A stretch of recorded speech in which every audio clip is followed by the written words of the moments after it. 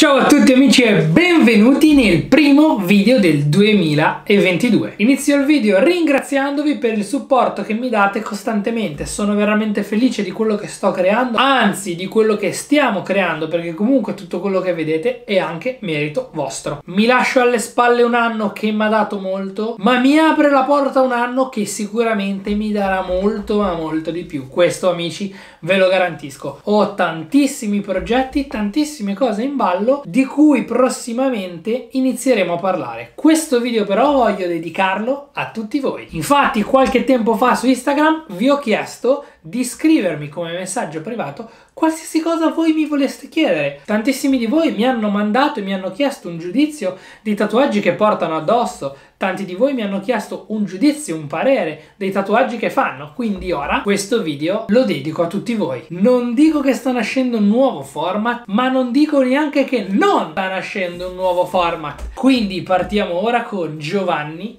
risponde. Perfect.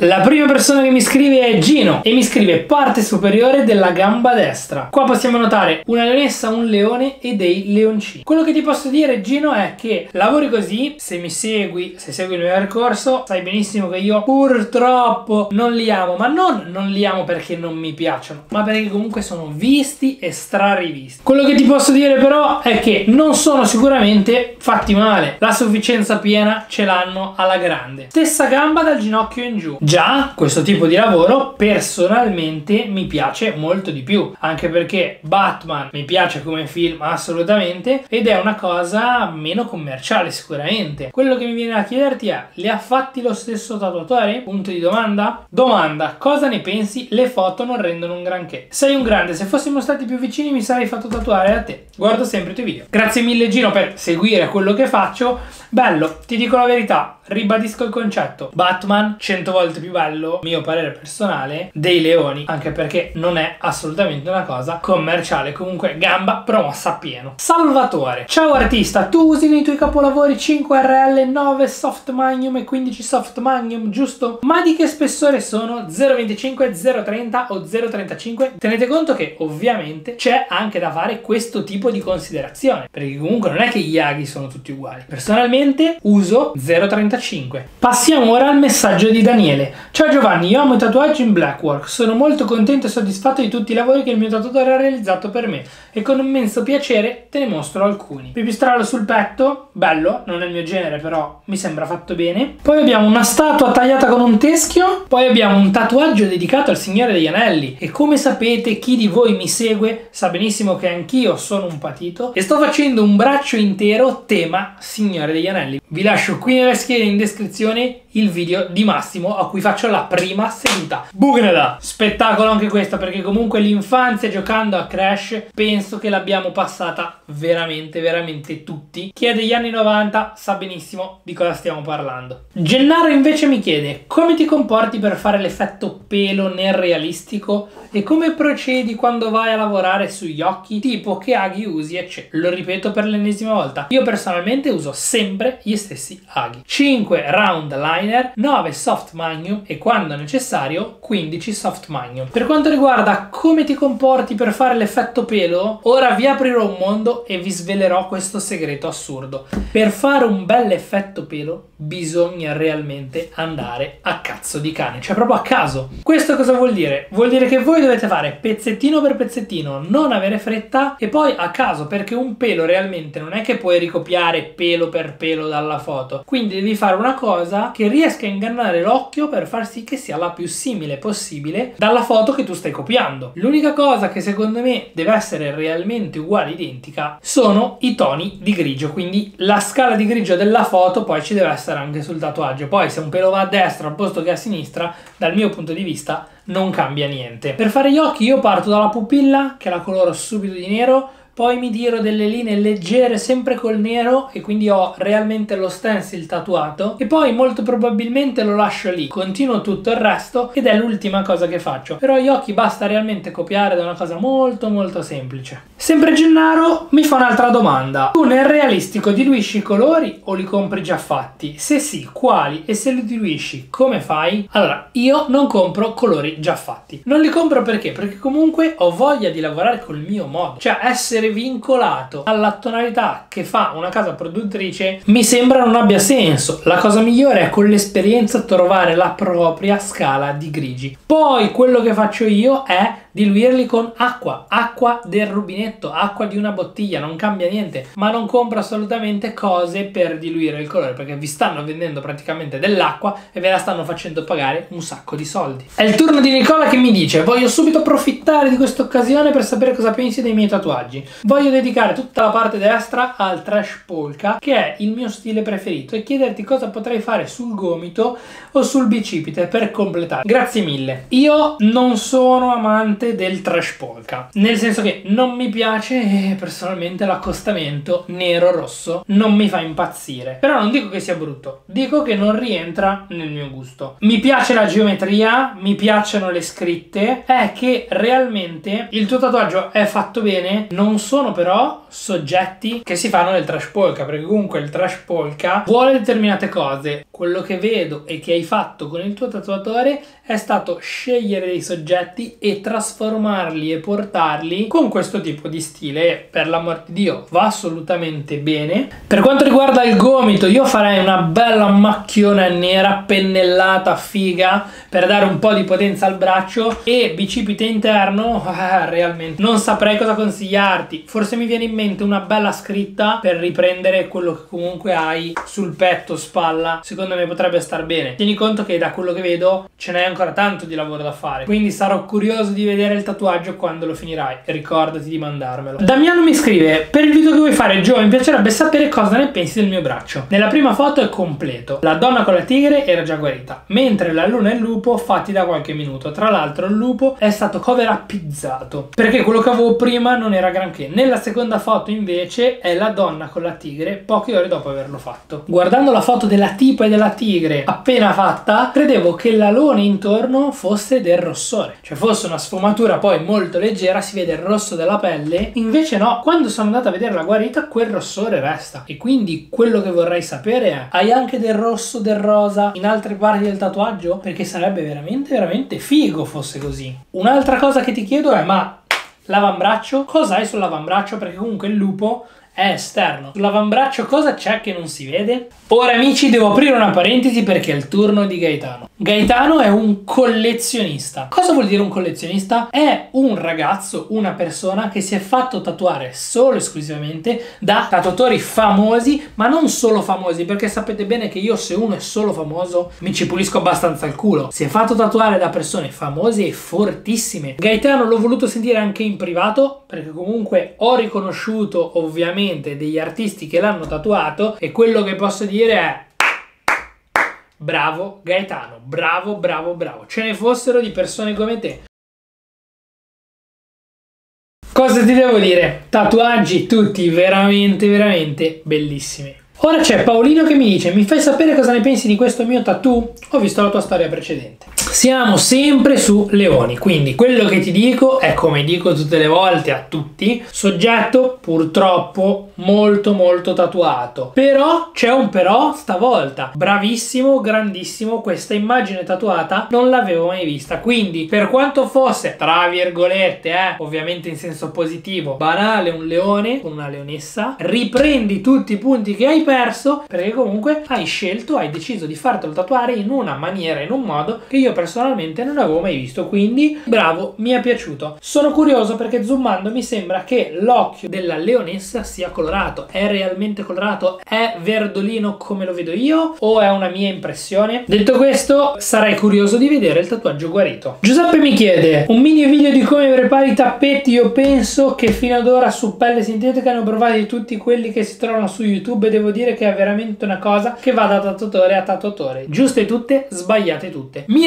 riallaccio alla risposta che ho dato prima, sempre inerente ai tappini. Tantissimi di voi mi hanno chiesto, Giovanni, com'è la tua scala di grigi? Come li diluisci? Non ho nessun tipo di problema a dirvi come li diluisco, ovvero un tappino nero pieno, quasi tutto pieno nero e poi acqua, 5 gocce di nero, 3 gocce di nero, 2 gocce di nero, una goccia di nero, poi tutta acqua. Ok, ora che ve l'ho detto, cosa avete risolto? Realmente niente, perché la domanda fondamentale non me l'ha fatta nessuno. E la domanda fondamentale è quanto cazzo è grosso il tappino dove metti il nero? Perché comunque se io metto un tappino largo così e ci metto una goccia di nero e poi lo riempo d'acqua, non è la stessa cosa di un tappino così. Questa domanda però non me l'ha fatta nessuno di voi. Dome, ciao Giovanni, ti stimo molto, ti volevo chiedere se mi potresti dare un parere sui miei lavori. Ho iniziato meno di un anno fa. Allora, vedo qua un primo disegno a Bic e devi essere un po' più leggero. Devi usare dei fogli adeguati, quindi fogli ruvidi e spessi, perché comunque l'inchiostro, anche se non è liquido liquido, quando ci passi tante volte ti fa piegare il foglio, quindi più spesso è, meno si piega e devi andare con più calma. Non rigacce, ma passo passo. Questa rosellina al riempimento mi sembra fatto bene. Quest'altro tatuaggio, anche questo mi sembra riempito bene. Un aeroplanino di carta sotto l'ombra di un aereo, va bene anche questo. Qua c'è questo mino che corre, linea leggermente incerta. Va bene, ma si può fare assolutamente di meglio. Tirapugni comunque mi sembra abbastanza preciso. Questa farfalla a teschio si vede abbastanza maluccio, quindi quello che ti consiglio io è anche la foto, falla meglio perché comunque sicuramente il tatuaggio rende di più. Però una cosa la voglio dire sia a te che a tutti quelli che stanno guardando questo video. Prendete esempio da lui, ovvero non fa cose al di fuori della sua portata. Non mi ha mandato pezzi realistici. Ha detto che tatua da meno di un anno, però non ha mai fatto lavori al di fuori delle sue capacità. Il nostro amico Jacopo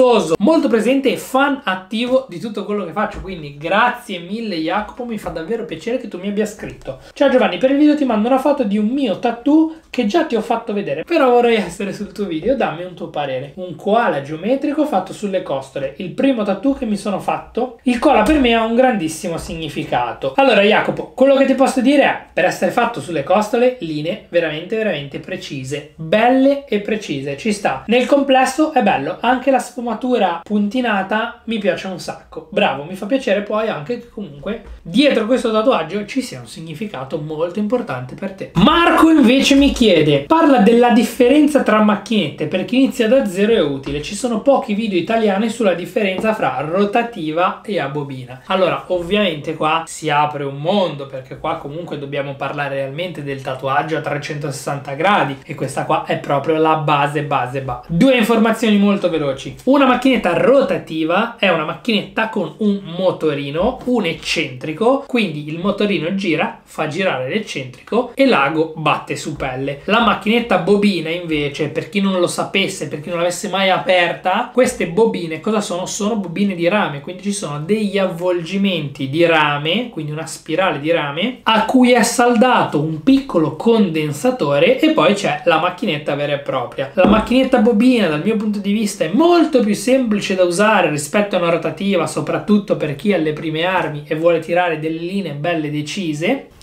Marco Pardi, Giovanni sono un tuo fan e sono pure un aspirante tatuatore. Vorrei chiederti il perché quando tatuo il colore non è scuro come voglio una volta guarito. Grazie mille, mi saresti di aiuto. Marco, allora, dipende da come saturi la pelle, quindi che aghi usi, che macchinetta usi, da quanto tempo lavori e quanta esperienza hai, ma soprattutto da che nero usi. Io personalmente uso Black Mamba, per fare il nero pieno uso il Tribal e ti garantisco che rimane molto molto nero. Quindi ripeto non so che nero stai usando se lo provi sicuramente rimarrà scurissimo Mario Bruno, ciao Giovanni, ti scrivo per la rubrica. Praticamente il tatuaggio l'ho fatto il 5-11, ancora è appannato e pieno di croste. Migliorerà a breve? Perché sta servendo tutto questo tempo? Perderà colore o migliorerà la definizione? Mario, come potete vedere, mi ha mandato una foto del tatuaggio appena fatto, una foto del tatuaggio guarito. La risposta alla tua domanda è dipende dal tipo di pelle, perché comunque io posso cicatrizzare più velocemente di te. Questo è il fattore determinante importante, tieni conto che come si può vedere nella foto del tatuaggio guarito, sta cicatrizzando, evidentemente tu ci metterai un po' di più. Non perde più, il tatuaggio ti rimarrà così, perché quando sta cicatrizzando che c'è questo lucido sopra, ormai il tatuaggio ha quei toni di colore e rimarrà proprio così, non cambierà più. Vedo che il tatuaggio è da finire, sono curioso di vederlo finito. Omar, ciao Giovanni, a me piacciono i tatuaggi traditional. Il primo l'ho fatto a marzo e il secondo la donna settimana scorsa. Allora, guardate che bomba. Che bomba vuol dire che i tatuaggi tradizionali, quando sono fatti bene e quando guariscono, rimangono veramente, veramente bene, con una marcia in più. Poi il tradizionale, come sapete, a me piace veramente, veramente tantissimo. Quindi, che dire, Omar, belli, mi piacciono. Nicolò, Nicolò apre un mondo. Sentite qua, si fa amputare due dita, naso, orecchie e labbra per assomigliare a un alieno. Questo qua, amici, si chiama Black Alien Project. Se lo volete cercare su Instagram, vi lascio anche il link in descrizione. Non ho parole. Tanti di voi mi hanno chiesto, perché ho pubblicato delle storie inerenti, di fare dei video al riguardo alla body modification. No, non me la sento, non me la sento nel senso che parlare di tatuaggi, tatuaggi che fanno schifo, tatuaggi fatti di merda, tatuaggi che fa mio cugino e tutto, cazzo fa ridere. Cioè, fondamentalmente c'è quel velo ironico che mi piace. Questo qua no, la body modification realmente non mi piace. Cioè, non, non mi farai mai niente. Una cosa che potrei sopportare, tra virgolette sopportare ovviamente, perché poi ognuno è libero di fare quello che vuole, è la lingua tagliata. Ma impianti, orecchie tagliate, dita tagliate, no, no, no, no, no. Poi mi fanno senso, non, non ce la posso fare. Però facciamo così. Se questo video arriva a 600, no 500 sono pochi, 600 mi piace, giuro, guardate qua, vi metto un paio di foto, vi porto un video e vi racconto chi è Black Alien Project. Quindi io non lo voglio fare. Non mettete mi piace assolutamente perché non dobbiamo arrivare a 600 mi piace. Preferirei davvero non arrivarci, ve lo giuro. Vi do questa asticella, decidete voi se cliccare o meno, se sapere o meno. È tutto nelle vostre mani, anzi è tutto in un vostro dito. E poi mi dice sempre Nicolò, un video sulla gente che si tatua il proprio amore per la squadra o lo sportivo del cuore? Io a breve dovrò realizzare un tatuaggio fighissimo. Uno Zlatan Ibrahimovic che veste la maglia del Milan, ovviamente. Non vedo l'ora di realizzarlo, quindi potrei prendere uno spunto per farci un video. Grazie Nicolò che mi hai dato questa idea. Francesco apre un'altra discussione molto molto interessante e da esperto. Esperto amante del tatuaggio perché mi chiede cosa ne pensi della scena graffiti Italia-Europa? Inoltre cosa ne pensi della scena graffita unita ai tatuaggi? Come per esempio lui Lugosis estratto con OAS oppure la scena WCA? Sei il top, continua così. Allora, personalmente cado leggermente nell'ignoranza in questa domanda perché amici, cioè, non è che posso sapere veramente sempre tutto di tutto. Allora, Lugosis lo seguo su Instagram, è un pazzo. In quello che fa, cazzo, è veramente il numero uno. Fa dei tatuaggi pazzeschi, mi piace tantissimo, gli metto sempre mi piace quando vedo i suoi post. Mi farei fare anche un tatuaggio tatuaggio da lui. Strato non so chi sia, OAS non so cosa voglia dire, WVCA purtroppo non so neanche cosa voglia dire quello. Però mi piace tantissimo la scena graffiti, mi piacerebbe farli, mi piacerebbe magari anche realizzare un video dove vado a dipingere un muro. Mi manca il tempo, quello che mi piace veramente tantissimo del graffito è l'illegalità, la criminalità che c'è dietro, il farlo veloce di nascosto per non essere beccato, quella è la cosa che amo dei graffiti. Fabian mi dice ecco il materiale per il video, mi manda tutti i suoi tatuaggi e quello che devo dire di Fabian è che le persone così a me piacciono, piacciono perché comunque non vedo cose che si fanno tutti. E queste sono le cose che amo. Non vedo cose banali e stratatuate o andate di moda. Questo stile mezzo stencil di come ti sei fatto questi due volti mi piacciono. Vorrei sapere chi sono, che volti ti sei tatuato. Amici, mi fa davvero tantissimo piacere che voi vogliate la mia opinione riguardante i vostri tatuaggi, i tatuaggi che avete fatto o che voi vogliate dei consigli da me, perché questo mi fa capire che comunque mi prendete realmente in considerazione. Vi chiedo di seguirmi su Instagram se non lo state ancora facendo, perché così potrete chiedermi anche voi futuristicamente un qualcosa per un prossimo video. Ovviamente iscriviti anche al mio canale, accendi la campanella, a 10.000 iscritti farò un annuncio realmente importantissimo. Manca poco, arriviamo a questo benedetto traguardo. Ci vediamo la prossima settimana. Ciao!